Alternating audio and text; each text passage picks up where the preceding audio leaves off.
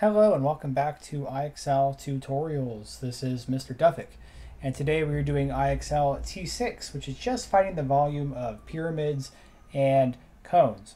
So as uh, with all the other videos I tell my students that you can find the volume formulas very easily on the internet. I just Google search volume equations and all these images popped up. Here's a nice little image with all of the volume equations tied to each picture. And so today it looks like we're going to be doing pyramids and cones. So if we go over here, that's going to be this formula right here and this formula right here. Okay, so we'll probably be referencing this throughout the IXL. So this uh, first problem is asking to find the volume of this cone. Okay, and so I'm going to go back here and see the volume of a cone is going to be uh, pi r squared times h, r being the radius of the circle down there, height uh, being the height of the entire shape, and then divided by 3. So pi, pi r squared, and then h over 3. I'll go over here and do v equals pi r squared h over 3. And again, something I want you to think about. The um, base is a circle, and for area of a circle, which is two dimensions, it's pi r squared.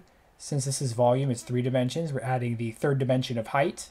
So it's pi r squared times the height, and then we got to divide it by 3.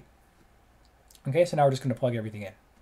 So it says use 3.14 for pi, so we'll do 3.14 times r, so the radius of the circle down below is 4, so 4 and then squared, times the height, the height is 9, and then of course all divided by 3. Okay, I'm going to simplify this, um, writing 3.14 times 4 squared is 16, so times 16, and then times 9, and then divided by 3. I'm going to divide the 3 out by the 9, so we're just going to be left with 3, so I'm going to multiply by 3. And then from here, I will simplify that further and do 3.14 times 16 times 3 is 48. Okay, so I'm going to get a calculator. We will go over here and we will type in 48 times 3.14 and that's going to be 150.72 so 150.72 and again to the nearest hundredth so make sure you have the uh, two places after the decimal there. And there we go okay? Um, so we can do this cone right here. We'll go back. Okay finding the volume of this cone so remember the volume is going to be pi r squared, pi r squared, times our third dimension of h, all over 3. Okay, so we have 3.14 times the radius. Remember the radius is just the point in the middle to the end. So if the diameter of our circle is 12, that means the radius is going to be 6. So times 6 squared times our height, which is 10, and then all over 3. Okay, this is going to be equal to 3.14 times 6 squared, or 6 times 6 is 36.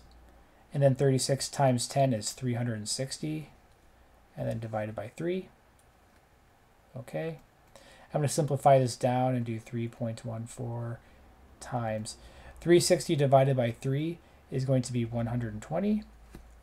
Okay, so we just need pi times 120. Go to our calculator do 120 times 3.14 and that's 376.8 so 376.8 okay so now we have a pyramid here. And specifically it is a triangular pyramid. So if we go to our formula here it says length times width times height over 3 that's a little misleading. That is going to be for a rectangular pyramid right there okay? When we go back to our problem here, the base is going to be a triangle. So over here, the base is going to be a rectangle. And so really uh, a different way to write the formula that's going to be more accurate is going to be volume equals big base times height over 3. And the reason why we write big base or capital B is that just means it's going to be the area of whatever the base is. So if it's a triangle, we're going to do the area of a triangle there. If it's a rectangle, we're just going to do, you know, um, base times the length or the length times the width. Okay, because this is a triangular base, we're going to do 1 half the base times the height, and then times the height of the entire shape over our 3. Okay, so we have 1 half. What is uh, the base there? The base is going to be uh, 20 times 16. And the height of the entire shape is 18. And then all over our 3. Okay. I'm going to simplify some stuff down here. We'll do 1 half times 20 is 10. So 10 times 16. And then times 18 over 3 is just 6. So I'm going to simplify that down to 6. So it's 10 times 160, or 10 times 16 times 6.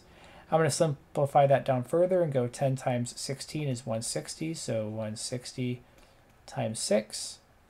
Okay, and then I'm going to solve that real quick. 160 times 6 is going to be 960. Okay, so it's going to be 960. There we go. Okay, so we have another triangular base there.